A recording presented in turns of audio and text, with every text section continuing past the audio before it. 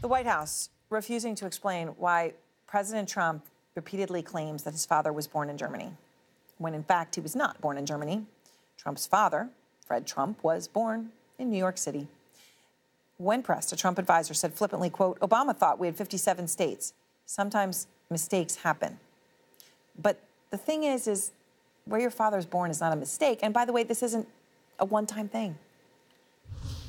My father is German, right? Was German, and uh, born in a a very wonderful place in Germany. And so I have a great feeling for Germany. My father's from Germany.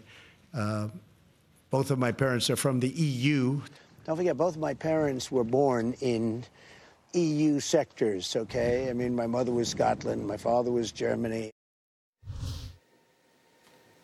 Well, since he likes birth certificates, here's his father's. Washington Post got it. Yep, right here, New York City, uh, Fred Trump. This is weird. I want to go now to Jack O'Donnell, former president and chief operating officer of Trump Plaza Hotel and Casino. So, Jack, can I just ask you a question? Just why? Well, Aaron, that's a great question. Um, listen, he, he, he's pathological. We know this. Um, we've seen it not just since he announced for the president, but he's been this way ever since I've known him 28 years ago. And so I do think it's part of who he is. He's compulsive.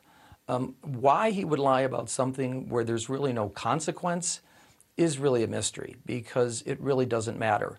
The only thing I would suggest is by saying this, he's trying to ingratiate himself to someone. And so there is a gain for him.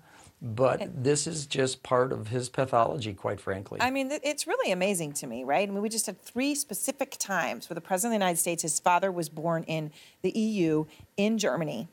Um, Trump's father died when Donald Trump, the President of the United States, was in his 50s, okay? I, I, I really, I find this actually really quite disturbing. You said, Jack, that his uh, Trump's lying is what made you quit working for him. Why is that? How pervasive was it even years ago?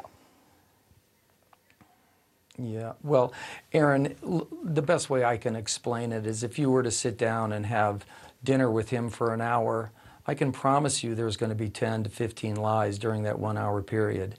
It's just constant with him. And in my situation, it really became where my own moral a compass. I felt I began to question it just being around his lies so often. And when he, when I finally hit a breaking point, it had was very personal for me. He was lying about two friends that had died in order to cover some of his bad management, and that was the straw for me. And I think that part of, of, of the high turnover rate that he has, both in his business and both at the White House today, I think it revolves around the lying and the dishonesty because eventually that wears people out. The president also made another bizarre claim about wind turbines uh, that the White House is struggling to explain, and it, it, in fact, they're they're not. Uh, listen to it. If you have a windmill anywhere near your house, congratulations. Your house just went down 75% in value. And they say the noise causes cancer. You told me that one, okay? Do wind turbines cause cancer? I, I don't have an answer in that. I mean, I don't. I, I, I, I don't have an answer that. I guess what the president is. Yeah, I, I don't have an. I really don't have information on that right now.